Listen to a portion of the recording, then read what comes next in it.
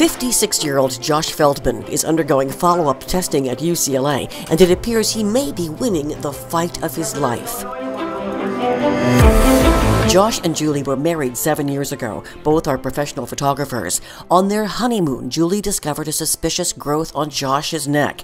It turned out to be cancer. Oh my gosh. Yeah, that was, it felt like you got sucker punched in the gut. Josh was diagnosed with lymphoma. Courses of chemotherapy kept him alive, but the cancer came back and transformed into an even deadlier form. His options were running out. The timing couldn't have been better because we had just opened this very exciting CAR T cell trial.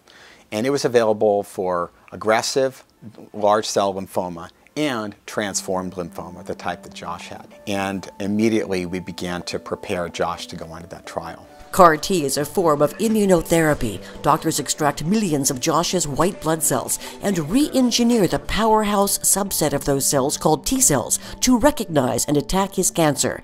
Josh's wife Julie caught the moment he got his newly re engineered T cells back. My re educated, re engineered T cells are going to go ahead and wreak havoc and completely obliterate, annihilate this lymphoma once and for all.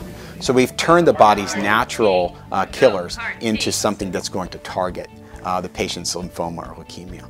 And when these cells are given back to the body, they expand. They're a living therapy. We don't have any other therapies that do this. They circulate through the body and they, they hunt down these tumors and attack them wherever they are. This CAR T cell therapy has just been approved by the FDA. Some 80% of patients have had positive results, and some, like Josh, are in complete remission. The large tumors that once riddled his body here are two other metastatic tumor nodules are gone. That tumor here that was choking off the liver is no longer present, and those metastatic nodules that were present here in the intestines are nowhere to be found. Josh has been cancer free for 18 months. It's just been an amazing thing for medicine in general. I mean, this is the cutting edge of the new technology for cancer, not just treatment, not just remission, but cure and so it's just been it's been just a miracle. Josh and Julie are back at work, have moved to Hawaii in the shadow of Diamond Head near Waikiki. While once it appeared their life together would be over, now it seems it may have just begun.